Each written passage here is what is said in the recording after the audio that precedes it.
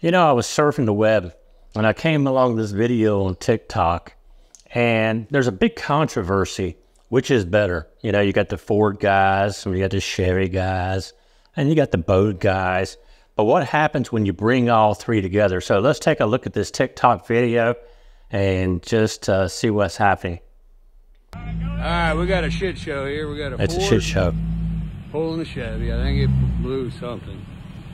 We might have, we might have everything hooked. Oh shit! Got, oh shit! Okay. That definitely was a shit show. That's another problem. Do you think that was a shit show? We got more.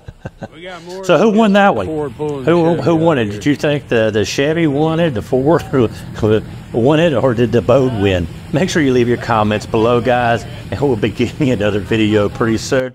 Also, I'm gonna leave a link uh, in the description below, and what it is to a Facebook group I'm starting, where if you want to, if you find something, and you can upload it to Facebook, and I'll post it and give you credit for it. Um, so, example would be something like this that we just saw uh, from TikTok. Just you know, upload it in the group, um, and that way we can start uh, creating content that I can share more openly with people. Anyway, guys, thank you very much, and we'll see you on the next one.